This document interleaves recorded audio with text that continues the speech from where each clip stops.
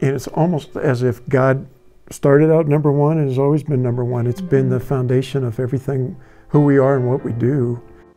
I think more recently, Steve and I have both started exploring more indoor faith, um, both through discipleship paths and um, some Bible study type things, um, and that um, has sort of lit a fire within both of us about our Christian relationship and how our personal relationship is with God, and then we bring that back to each other and um, kind of implement that those things into our marriage.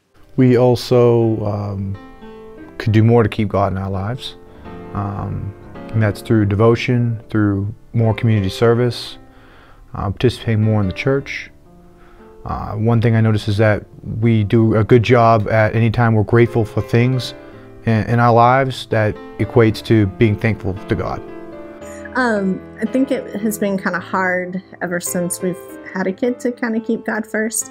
We want to be able to show um, our daughter, who's just about 14 months now, that um, God is very important in our lives. We try to pray at every meal. We try to do bedtime prayers with her as well, um, but as well trying to set time um, aside for just he and I to, um, you know, do a study together or just even a quick prayer before bed um, is really important for us.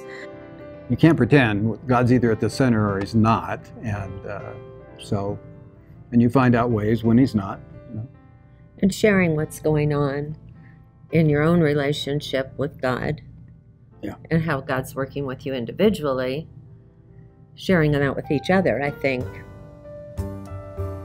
keeps you working together. Mm-hmm.